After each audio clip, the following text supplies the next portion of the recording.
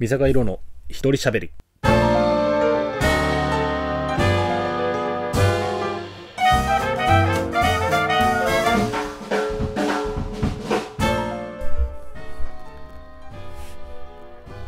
どうも皆さんこんにちは。 D-beyond の三阪です。えー、大変ご無沙汰しております。え前回から1ヶ月ぐらい経ってしまいまして、えーアップが滞っており、申し訳ございません。まあ、おかげさまで、えーいろいろ忙しくさせていただきましてね、この1ヶ月半ほど。まあ、SNS の方でもちょっと上げさせていただきましたけども、まあ、ちょっとイベントに走り回ったりであったりとか、まあ、ちょっといろいろね、えー今年度に向けての活動の打ち合わせ等々、まあ、他の仕事もいろいろしておりますんで、まあ、その辺の打ち合わせをしてる間にどんどんどんどんみるみるみるみる時間が経ちあっといえばあという間に気がつくともうゴールデンウィークが終わってるという状況でした。ありがたいことですけどね、まあ、仕事をたくさんいただいてそれに打ち込む日々というのが非常にありがたいんですけどもね。はい。あの気がつけばもう2022年も折り返しに来ようとしてるという今日この頃ですけども。まあ年を取るとあっという間ですね時間が経つのが。なんかこう小さい頃は一日一日がね明日何があるんだっけとか明日は何だっけみたいな毎日明日のことを考えてたと思うんですけど年を取って大人になるとこうその先の仕事のことをちょっと考えてね、えー来週の仕事のとか来月のこの仕事の準備とかそれに向けての打ち合わせみたいなそんな時間を過ごしてるとあっという間に時間が過ぎるなみたいなことを最近実感をしておりますが皆さんはゴールデンウィークどう過ごされたんですかね？なんか今回はあうまく使うと最大10連休にもなるっていう話を聞いたんですけども、まあ、僕はねあの SNS でも上げてましたけども合間合間に結構イベントの仕事をいただいて、えーまあ、長期の休みっていうのは部分部分にお休みをいただくっていうような形だったんですけどね、えーまあ、ちょっと大阪今回はねなんかあの3年ぶりに2年ぶり ?3 年ぶりに規制のないゴールデンウィークだっていうことで、えーまあ、ちょっと大阪に帰ろうかなって家族で帰ろうかなみたいなことを計画してたんですけども、まあ、ちょっと仕事のタイミングだったりとか、まあ、もうちょっとねあえてこの混雑するタイミングで行かずとも、まあ、ちょっと日を改めて行こうかという結論で、えーまあ、結果近場でちょっとね旅行に行ったりとか遊びに行ったりっていうようなあことで過ごしましたけどもいやいやいやこのゴールデンウィーク含め、えーまあ、3月からねあのーラグビーのプロリーグのリーグワンのあのーホームゲーム、各チームのホームゲームの会場前で車椅子ラグビーの体験会をさせてもらうって機会が、あートータルで、えー5回ほどいただいたのかな、まあ、別のイベントも含めると4回プラス別のイベントで1回やらせていただいたんですけどまあまあまあどこもご盛況いただいて平均5 60人ぐらいの方にあの体験に来ていただいてタックルするみたいな機会をいただいてですね多分、うん、200人近くの方に体験してタックルも経験してもらったんじゃないかなっていうふうに思いますね。で、まあ天気もいろいろあったんですよね。まあまあ、ちょうどいい気候、3、4月ぐらいはね、肌寒いぐらいでうまくちょうどいい気候の中でできたんですけど、ゴールデンウィークに入ってからのイベントはね、もう結構、たんですよね。5月1日はちょうど雨がすごいってなってた中で、実はダブルヘッダーだったんですよね、あれも。午前中は江戸川区の陸上競技場に行って、久保田スピアーズの前座でね、陸上競技場内のあ中でやらせていただいて、あれはまだ良かったんですよ。雨も降らないで。しかもあの、もう一人のメンバーの庄司に手伝ってもらったっていうことで、で、なんかね、まあ1時間弱のイベントで、終わったらすぐ撤収っていうのもあったんで、まあ、あっという間で、まあほぼほぼ精進にやってもらったんですけど、まあ、それでも30人近くの方に来ていただいて、体験していただいて、で、その後、あの、ワンラグビーのね、イベントのブースで絵本をちょっと販売させていただくところに行ったんですけど、その辺からちょっと雨がパラパラしだして、こりゃ午後のイベント危ないなーなんて思ってたら、まあ、ザーッと雨が降り出してですね、もう行く頃には、で、午後はね、その東芝ブレイブルーパスのホームゲームで、味の素スタジアムの横のアミノバイタルフィールドっていうところで、イベントさせていただくっていう準予定だったんですけど、まあまあ行く頃にはまあしっかり雨がザーザー降り出してですね、まあ、本来ならね、車椅子ラグビー自体が、まあインドアスポーツで体育館でやる競技なんで、まあ、天候に左右されることないんですけど、で、まあ雨が降ってると、本当はまあやらないんですよ。あの、まあ滑ってたりね、こう、水で濡れてタイヤだったりとか、あのハンドリームが滑ってね、うまく焦げないんで、まあ、そもそも体験できる状況じゃなくなるっていうのもあったんですけど、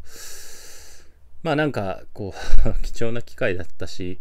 行って、ね、東芝さんの広報の方もこう、まあこの状況でもやれるなら、みたいな感じで、なんか、誰も即決でこれは中止だね、みたいな一言がなかったんで、まあまあここまで来たらやってやれ、みたいなとこもあったんで、とりあえず、まあ雨の中でも他のね、ブースがちょこちょここう、そのお客さんで来てたんで、まあちょっとぐらい、まあ数人体験してくれりゃいいや、みたいな感じでもう、もちろん屋根もない中でね、青空の中って、青空っていうか、まあ、あの、屋外でやってびしょびしょになっても、準備からびしょびしょで、待ってる間もこう、ちょっとこう、どうですか？みたいな言ってる間もずっと雨に打たれてびしょびしょの中でやって、それでもね、20人ぐらいの方がね、最終的に来ていただいて、まあ、いっぱい集客していただいたおかげでできた。まあ、あれ晴れてたらもうちょっと人も来てくれたんだろうなと思うけど、まあ、雨でも、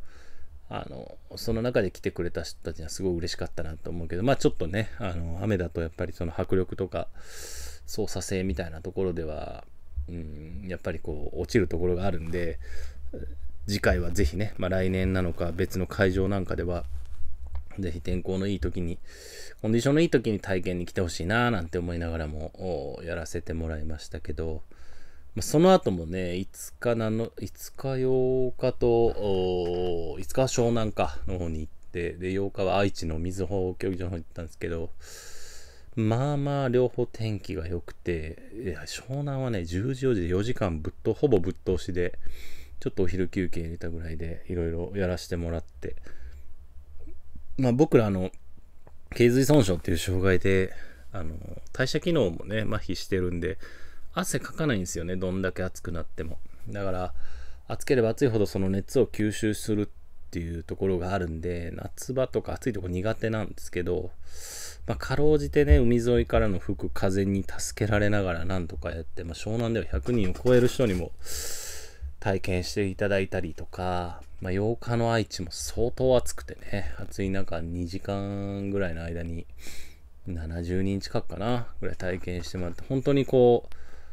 う、なんだろう、先週時代でもあんなにこんな短い期間の間にバータックル、人にタックルするなんてそうそうなかった中で、えっ、ー、と、まあ、こうたくさんの方に乗ってもらったっていうのは本当良かったなと。まあちょっと多少過酷な環境の中ではあったけども、まあいろんな人に体験してもらえたっていうのは本当良かったなと思うし、やっぱりあの、リーグワンの一緒になってやるっていうところはすごく良かったなと思って、やっぱラグビーって一つのキーワードを通して、いろんなラグビーを経験、体験してもらう中で、まあ、車椅子でもやるラグビーがあるっていうのを知ってもらえたし、やっぱあの、車椅子としてのタックルのインパクト、短い時間でもやっぱりそれが印象に残って持ち帰って興味を持ってもらってファンが増えるみたいな流れっていうのは今回まあ一つ作れたんじゃないかなと思うんで今シーズンはトータルでまあ6、7チームぐらい回らせてもらったんで、まあ、来シーズン回ったもちろん回らせていただいたチームなんかこうまた来年もやってほしいっていう話いただいてるんでね。そこはあのまたぜひお伺いさせていただきたいなと思うのと同時に今シーズン回れなかったチームにもぜひね、行きたいなと思います強豪のね、サントリーのサンゴリアスさんとか、埼玉のワイルドナイツさんとかね、あと、岩手にも行きたいな、釜石の方にも行きたいななんて思ってるんで、まあ、どんどんおかけいただいて、えー、まあ、ディビジョン1、2、3全制覇を目標にしてますんで、えー、まあ、その辺どんどん声かけいただいて、どこにでも車椅子持って、えー、タックル行きますんで、ご依頼お待ちしてますし、うん、いろんな場所でいろんな表現の仕方で車椅子ラグビーっていうスポーツ、まあパラスポーツのことも伝えられたらななんて思うんで、まあそこはぜひよろしくお願いいたします。それ以外はね、結構家族でゴールデンウィークなのにあえてスカイツリーに行くみたいな、あもう高所恐怖症なんですけど、あの大分の動画で見てもらったら分かると思うんですけど、行って、まあ、意外に言うても制限はまだあったりとか、みんな地方に出てるんじゃないかなんて甘い考えで言ったら、まあまあまあ駐車場止めるのも結構大変だって。で、展望の一番高いとこ行くまでにトータルで結局2時間ぐらい、なんかほぼ並んでる時間だったなっていう印象なんですけど、まあそれでも子供たちはなんかこうそういう時間も楽しんでくれてエレベーターで上がる感覚とかね、もう見たことない高さからの景色とか楽しめたりとか、僕はちょっと高さ上がって、ヒューって感じだったんですけど、まあなんかそんな楽しい時間を過ごしたりとか、もう一日はね、その5日湘南でイベントやったと、そのまま大磯の方のホテルに泊まって、家族で泊まって、まあ、その後江ノ島の方ちょっとブラーっと水族館行ったりみたいな。結構ねあの辺もバリアフリー。江ノ島のね海岸沿いって意外にバリアフリーしっかりしててスロープで入れて遊歩道もね車椅子で歩けたりとか水族館も基本車椅子で行けたりとか。あの辺ね車椅子で結構ブラブラできるんでおすすめなんですけど。またねなんか庄司とタイミングが合えば湘南ぶらりみたいなこともできたらいいなとは思ってるんですけども、まあぜひぜひ車椅子でも行きやすい場所なんで、これから暑くなりますし、海にちょっと、お行ってみたいなっていう人はぜひ湘南の方もおすすめだな、なんていうふうには思っております。まあこの怒涛の中でそうっすね、そんな感じでゴールデンウィークも仕事と、まあ休暇も含めて、楽しませてもらったなみたいな週末だったなというふうに思います。そうですね。まあ、あとは、なんか、あれですね。ゴールデンウィーク明けに、まあ、大きな悲しいニュースが入ってきましたね。まあ、わざわざ僕が語ることでもないけども、お笑い芸人の上島竜兵さんが、まあ、亡くなられたというニュースが入って結構、まあ、ショッキングで、なんかみんな気がつけばね、当たり前のように、なんか真似してたりとか、ギャグを使ってたりみたいなことあっただろうし僕も あのこれまで中にたくさんあのさせて使わせてもらったこともあったりしたなみたいなことありましたけどもまあ死因が自殺っていうことを伺ってね、まあ、前回以前あの僕も大好きな YouTuber の方が、まあ、ちょっとねこう精神的に病んじゃって休んじゃったみたいな話もしましたけどもまあねなんかこうああいう風にボケてるように見えて、実はすごく繊細で真面目な人っていうのがね、結構知れ渡ってて、真面目な人ほどやっぱり追い、自分を追い詰めちゃったりとか、自分自身になんかこうすごく問いかけるような時間が多くなったりするのかなと思ったりするんですよね。あとはまあコロナ禍で、本当にこう、ああいう方たち、特にあの、吉島さんなんかのこう、芸なんかは、人と接したりね、体張ったりする中で、こう、コロナだったり、コンプライアンスで、いろいろ制限かかっていったりとか、うん、またね、あの、すごく尊敬されてた島さん亡くなったりとか、まあ、いろんな事情はあったんでしょうけど、なんかね、こう、そこまで追い詰めて、こう誰かに相談して気が楽になったりとかっていう時間はなかったのかなっていうふうに思ったりします。僕も、まあ、こう精神的に追い込まれることがこれまで数度ありましたけど、うん、どこかで、えー、まあ、例えば子供だったり家族だったりとかあ親友だったりとか何かこう話すことによって自分の気持ちが少しこう別のところにこう逃げてくれたりとかあ今そこまで思い詰めなくてもいいんだなとかあ勇気を持ってこう撤退することみたいなことも大事なんだなっていうことを教えてもらったり伝えてもらえたことができたおかげで今なんとかね今こういうふうにまた新しい仕事にチャレンジしたりとか新しい世界を切り開くっていう環境を切り開くような機会が設けられてるっていうのもあったんでうん。なんかそこまで行き着くまでに何かこうなかったのかなって他の親しい方のコメントを聞いてるときっとできることはあった中ででも相談できない真面目さみたいなのもあったんだろうなっていうのも思うとこう悔やんでも悔やみきれない部分もあるんだと思います。なんかね、こう本当死ぬのって簡単なんですよ、選択するのって。で行き着くまでにたくさんのことを考えて決断するまでにから決断するって多分行動って簡単なんだろうなって思うんですよ。だからこそそこに行き着くまでの悩みやっていうのをもう一回だけ振り返ってほしいんですよね。そこに至るまでに。そしたらもう一回何か逃げ道だったりとか別の道があったりとかそうするまでに誰かと話しておこうと思った時にその話で何かこう変化が起きるかもしれないと思うんでね。どうかなんかこうまあ今悩んでない人なんていないしつまずいてない人なんていないし全てずっとうまくいき続けてる人なんていないんでね。なんかこう一人じゃないっていうかみんな人が思ってることよりなんだろう変な目で見てないし思ってる以上に気にかけてる部分ってやっぱりたくさんあるんで改めて一人じゃないっていうことをねこう何かに直面した時には考えてほしいなと思うしそこに行き着くまでに同性とかまあまあっていう感じで誰かと会ってほしいなと思うし誰かと話してほしいなと思うんでね。なんかこうそんな今時間を過ごしてる人はこの機会っていうもので改めてねそこに追いかけるようにするんじゃなくてその怖さみたいなものを改めて悲しさみたいなものを改めて感じてうん。してくれたらいいなって思うしね。うん。まあ僕らみたいなえ障害を負ったりとかいろんな違いを持ってもチャレンジする世界だったりとか、うん、変えられる世界ってまだまだあったなって思うんで、まあ、少なくともそんなことを伝えながら誰しもが違いだったりコンプレックスだったりいろんなものを持ってる中で生きていく生きていってるんだっていうことを知りながらね。その 持ってるものみたいなのを個性に変えてもう一歩ずつ前に進んでくれると嬉しいなと思います。まあ突然のニュースで本当悲しい思いもしましたけども、まあそんな中でこれから生きていく方法みたいなのをまたみんなで見つけられる機会にもしたいなっていうふうには個人的には思いました。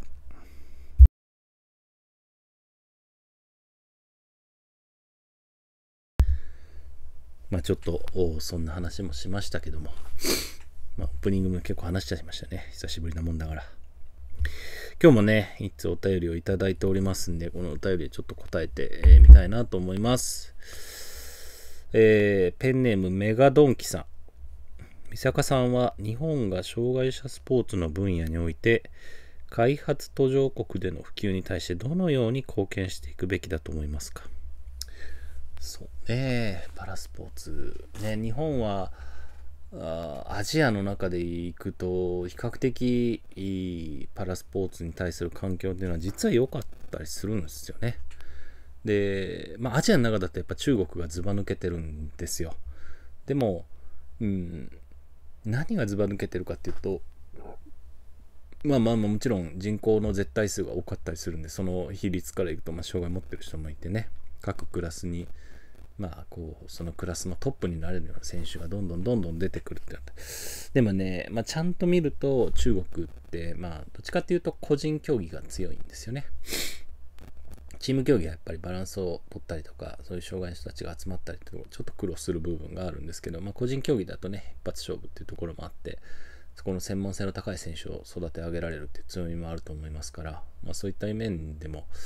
中国はね、今回の北京のホストのパラリンピックでも冬の競技でも結構こう力を見せつけた部分もあったんで、まあまあ、アジアのトップっていうイメージですね。まあ、ついで日本、韓国あたりがパラスポーツに力を入れてるっていうところでしょうか。で、まあ、その下でなかなか、国全体でね、パラスポーツがこう普及する環境っていうのはなかなか難しいと思うんですよね。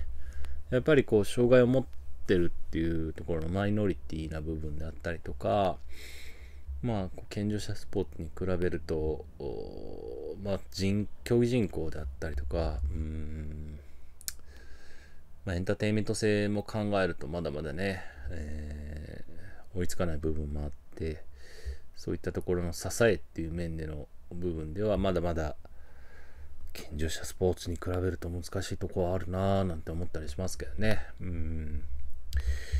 まあそんな中で、えー、まあ、日本も、まあ、東京パラリンピックの開催を機に、まあ、結構環境を整えてもらったんだろうなと思います。管轄がま厚生労働省から文部科学省に移って、まあ、本当スポーツとして捉えていただいて、えー、まあ、資金、ね、予算もしっかり立てていただいて強化する環境ね、施設もそうだし、選手に対する投資もそうだったし、うん、そういった面では、まあ、リオではね、金メダルゼロでしたけど、そうそれを覆す形で東京ではま結果も出ましたし、うん、でもまあやっぱコロナの影響でそれがこうなかなかレガシーとして残しづらいアフターパラを今迎えてるなっていう印象はありますけど僕昔車椅子ラグビーが2014年にあ韓国のインチョンでアジアパラ競技大会っていうのがあった時にアジア大会のパラリンピックパラ競技のカテゴリーの大会の時に車椅子ラグビーが初めてかな。あの開催されてアシスタントコーチで行ったんですよね。でその時まあアジアであったのは中国はね北京2008年の北京パラ以降ちょっと車椅子ラグビーチームっていうのは解散しちゃって今噂ではまたね再興してるって話は聞いてるんですけどうん。まあその当時はまあアジアといえばま韓国と日本だけだったんででそこにマレーシアとインドネシアが参加してくれるっていう状況で初めてまあアジアパラ競技大会の中で車椅子ラグビーの種目が入ってやるってなってね。まあもう当然下馬評ではあの日本が一番優勝候補だっていう中でね、えー、まあ、しっかり勝てるメンバーを先行して連れて行ったんですけども、うん。で、まあ、マレーシア、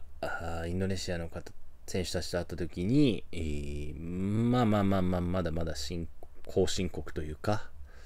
まあ、乗ってるラグ車もね、えー、僕らが使ってるメルローズだったり、ベスコだったりとか、っていう、まあ、今のトレンドの車椅子じゃなくて、えー、まあ、あんま効かないメーカーのっていうね、数レキュレーションっていう、その採寸とか寸法とか、こういう、このサイズで収めなさいよみたいなルールがある中の、ルールにそぐわない形になってたりとか。で、まあ、ルールもまだちょっとおぼつかないっていう状況の中で、まあ、その2チームが集まってくれて、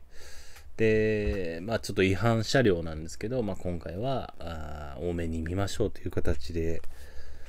大会も、まあやることになりまして、で、まあ実際蓋開けたら、まあまあまあ、もちろん能力、実力っていうところはまだまだっていうところで、む しろ大会期間中にいろんな練習方法をアドバイスしたりとか、一緒に練習したりとか、まあ、そんな形でやった状況なんですよね。で、で、まあ4年後インドネシアのジャカルタでやるっていう目標もあって、そのインドネシア参加してくれてたらしいんですけども、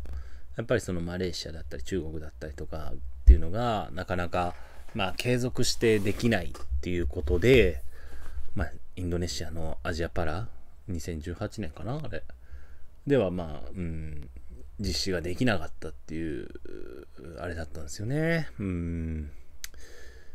まあ、難しいんですよ。あの、結局、障害福祉に対する手厚さだったりとか、その、保障みたいなものが十分でなければ、こう、まず生活が大変なわけですよ。まあ、例えば、こういう脊髄損傷とかで自立保護が難しい人車椅子の手配だったりとか、まあ、家の改造もそうでしょうけど、まあ、そういうのにプラスアルファそのスポーツっていうところに余裕があるかっていう話なんですよね。日本で言っても、まあ一応その福祉の助成金っていうのはあるけども、基本的にはスポーツに対する助成金っていうのは自治体では持ってないんでね。例えばスポーツ用の車椅子を買うお金を補助するかって言ったらそうはないし、まあそういうのはトップアスリートはね、企業、その所属企業だったり、スポンサー企業からサポートしてもらったりとか、あとは国からの助成金をうまく使いながら、うんまあ、購入してやってるっていう感じなんですよ。それはもう日本だってやっぱりね、あの僕らが使ってるラグシャラって1台100万近く100万前後するわけですからおいそれとすぐに買えるもんでもないわけですよ。始めたいからって言って、まあ、日本もそんな充実して誰もが始められてやりたいっていう時にやりたい場所でできるような環境が整ってるわけではないんでね。まだまだ、あの、日本自身もこう、普及というか、その、パラスポーツの、なんだろうな、普遍、普遍っていうのかな。グラスルーツに対するアプローチっていうのはまだまだ課題なんですけどね。それでもやっぱり、あの、パラスポーツを引っ張ってる、アジアで引っ張ってるリーダーの一つとしてね、こう、そういう後進国に対してのアプローチっていうのは必要だと思うんですけども、うーん、まあ、どの部分を貢献していくかですよね。だからこの前東京パラの視察行った時に、ちょっとこう興味深かったのは、シッティングバレーに行った時に結構アフリカの、それほど裕福じゃない、これ、ルワンダだっけ？どこだっけ？名前ちょっと忘れたけど、出てて、で、スポーツによって強豪国というか、こう、盛んな、違うんですよ。その、なんだろうな、あの、別にヨーロッパで雪が多いからとか、その冬のスポーツが強いとかそういうんじゃなくて、例えば、シッティングバレーボールって言ったらバレーボールのネットをこうちょっと低い位置にしてバレーボールと同じルールでできて、かつ座るっていう状況からスタートして、他に基本的に用意いらないんですよ。ってことは、そのお金がかからない、そんなにかからないんですよね。でも、車椅子ラグビーみたいに1人が100万近い、まあ安く、ちょっとイレギュラーなメーカーで作っても数十万かかるようなものを1人1台用意して4人対4人でやるってなると、まあその4人ともがそれを用意しなきゃいけないとか、まあバスケもそうだし、えー、テニスとか車椅子の競技にかかってくる道具ってやっぱ、ままただならぬ値段ですし、まあその欠損で陸上競技とかやる場合の義足義手なんかも、あれもやっぱりこだわれば相当な値段もするわけですよ。うん。なのでやっぱりその、ね、お金がない国だとか福祉保障が十分でない国からすると、やっぱり車椅子の用意だったりとか、いい義足、うん、なんか、道具でね、記録が変わっちゃう能力に大きな影響を与えるっていうのは、まあいいことでもありつつも、平等性っていう面では非常に難しい課題を抱えてるっていうのも、まあ、実はパラスポーツの大きな一つなんですよね。うん、本来ならそういう後進国にどんどんどんどんこう今までの経験してきた現役選手なり OB 選手たちが行ってね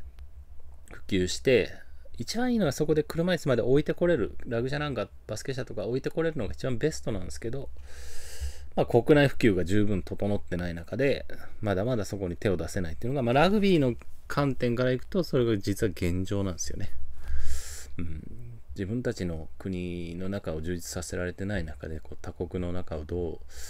張り上げれるかっていうと結構難しい。だからまあ今何ができるかって言ったら、行ってね、こう、競技普及っていうとこまでは落とし込めるんだけど、こう必要なものをどう国内で準備していってもらうかとか、その環境まで作っていくってところをどう話し合ってそういう人たちを巻き込めるかっていうところまでの情報だったりとか、うん、環境づくりっていうところはお手伝いできるんじゃないかなっていうふうには思うかな。うん、なんかあの持ってるものをどんどん投資するっていうよりは、まあ、経験値だったり情報をシェアしてじゃあその国でその競技環境を作るための課題をどうやってみんなで解決していくかみたいなことを持っていってシェアするっていうところが今のところでいくと限界なんじゃないかなっていうふうにちょっと個人的な意見もだいぶ入ってますけど、うん、思うところかな。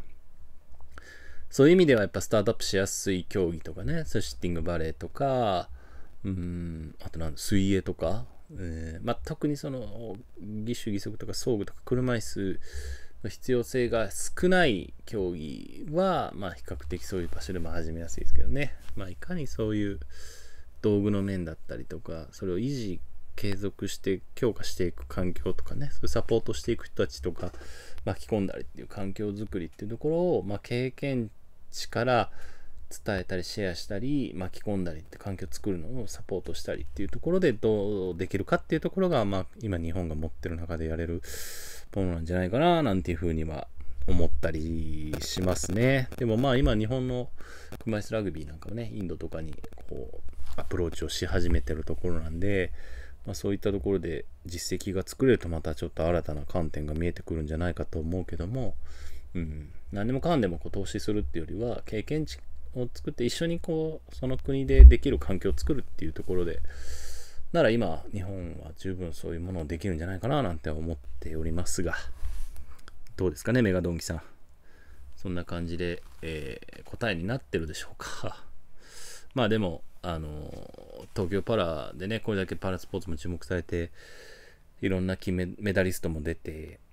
競技の普及もできたんでね、次のステップとしても、もちろん国内の環境を充実させるとともに、アジアのリーダーとしてね、もう後進国に対してのパラスポーツの環境づくりをサポートする一員になっていきたいし、僕もまあ今、日本パラリンピック委員会のアスリート委員会の委員長として、そういった面でも関わりたいなと思ってますんで、まあ、少しずつですけど、歩みを進めていくんで、期待していてもらえたら嬉しいなと思います。いや、いい質問でしたね。グローバルな感じで。うん、なんか、パラスポーツもこう閉鎖的なものじゃなくてオープンにしていくために、まあ、リーダーとして外の天気世界を広げていくっていうのは貴重なことなんじゃないかなっていうふうに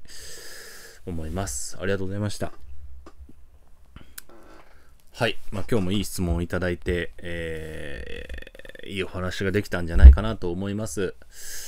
で、まあ、結構、溜め込んだネタもちょっと、ほぼ切れまして なかなかこの一人喋りを続けていくにもこう皆さんのね何気ない質問とかあが必要になって成り立っておりますんで、まあ、ぜひこう些細なな質問でもいいですし